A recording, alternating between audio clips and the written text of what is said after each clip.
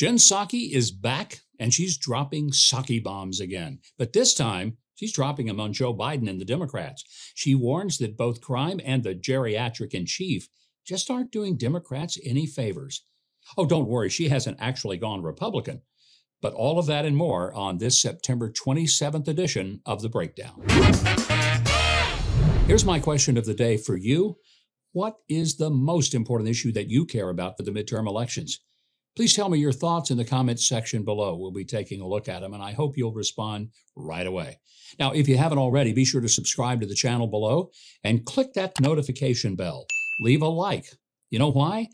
That way, YouTube is more likely to show this video to Democrats. They'll love it. You know they will. Well, we've got quite a few clips to get to today that we'll offer some commentary on. The first one is uh, Karine Jean Pierre at the White House podium. She's asked a question about whether Americans ought to feel safe. Here's her answer Should everyday Americans who are not in the public eye feel safe? So I'll, I'll say this um, that same story also uh, stated that the crime is complicated and multifaceted. Uh, look, this is a president uh, who has secured historic funding uh, to make sure that uh, law enforcement has what it needs, uh, especially, and he was able to do this uh, in the face of opposition from Republicans during a time where where he inherited a rising crime rate from the previous administration. The president put forth the American Rescue Plan. Of course, it's always somehow, somehow Donald Trump's fault, the Republicans' fault. It's not the defund the police idiocy that her party has put forward. It's never the, uh, you know, no cash bail and let violent criminals out, even before the paperwork is done on the person who has been brutally and viciously attacked. That person's still in the hospital. But the criminal, the person who did it, they're back out on the streets doing it again.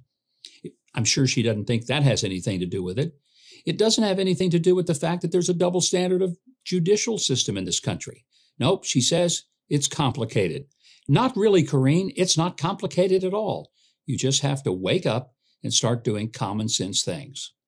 Well, our next clip, this is um, Jen Psaki. She's back. She's got her own show on MSNBC. And I tell you, after watching Karine Jean Pierre for a while, I know I pains me to say this, but I'm I'm kind of missing Jen Psaki. Uh, she, she, told a lot of big ones and stuff, but you know, by golly, she did it with some level of competence, and even her snark had some charm to it.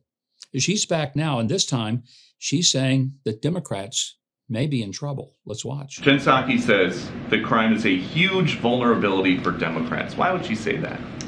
So, you know, um, again, I can't do electoral politics from here, as you know.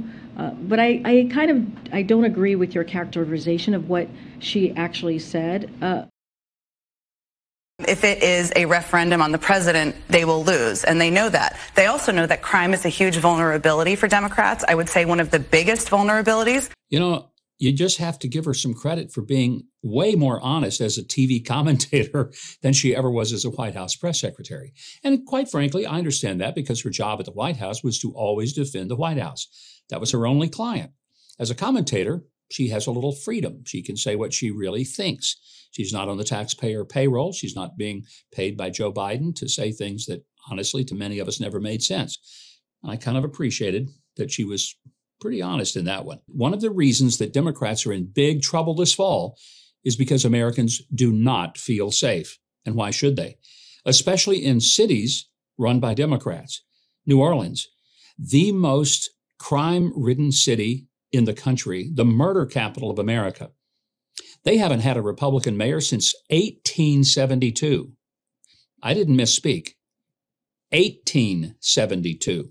Well, one of the other issues that is uh, continuing to happen is drugs coming across the border. For those who think that the border is only about just letting good, decent people come across, raise their families, and come to work in America, I wish that were all it was, but it isn't. It's human trafficking.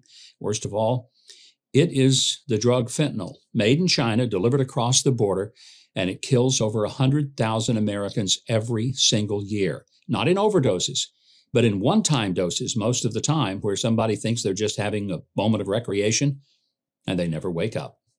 Here's just a little truth about that issue rainbow fentanyl. These brightly colored pills and powders look very similar to candy even sidewalk chalk, but to be clear, they're dangerous. They contain the highly addictive, highly powerful drug fentanyl. Fentanyl is a synthetic opioid. It is 50 times more potent than heroin. 100 times more potent than morphine, and just two milligrams of the substance is considered to be a lethal dose. So that's why, you know, brightly colored fentanyl in this form is again getting some attention. And that's what's really happening at the border. And it's not just the fact that these drugs and human trafficking come across the border, it's the fact that many of those people who do risk their lives to get across because they are desperate for a new life. They end up dead because they are trafficked, or sometimes they're put in the back of a hot truck and left there for hours and they suffocate in a, an excruciating death. On the Texas border, here's what the people working at the morgue have to say. Another day at the Webb County Medical Examiner's office in Laredo, Texas. The small morgue, now one of the busiest along the southern border, as nearly every day the team wheels in another migrant body, adding to the more than 300 they've already processed so far this year.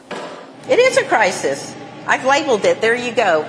We're in the middle of a crisis. It's kind of nice and refreshing to see somebody say it is a crisis. Of course, she's one of the people processing over 300 bodies of migrants who have died trying to get across the border. Well, idiocy is not limited to the border. This administration has appointed a number of people in positions who obviously have no idea what they're doing. Jennifer Granholm was once the governor of Michigan. She is now the Department of uh, Energy secretary. And it's just hard to believe that she's just so giddy about the fact that we're paying such high prices for fuel because she says this is a wonderful opportunity for transition. So we ought to be celebrating. Actually, the transition is really a transformation, a transformational opportunity. America seizing the opportunity to build this whole new industrial sector that will help the world decarbonize. Oh, that's what it's all about to decarbonize. We knew there was something that this was all about. And all those families who can barely put food on their table, they just can't wait to go out and go without groceries for two or three months. Maybe they'll buy an electric car. Of course, if they live in California, they can't plug it in because they don't have enough energy out there. Thank you, Energy Secretary, for your sympathy and understanding of the plight of the typical American family. And if you don't know what sarcasm is, I've just engineered a little piece of it. Well, finally, today, uh, the stock market is down. It's down substantially. It's uh, now in a true bear market. Mm, $7.6 trillion it has fallen. Now, lest you think that, well, the stock market, is for rich people. No, it's not. Are you a retired teacher, retired policeman, fireman?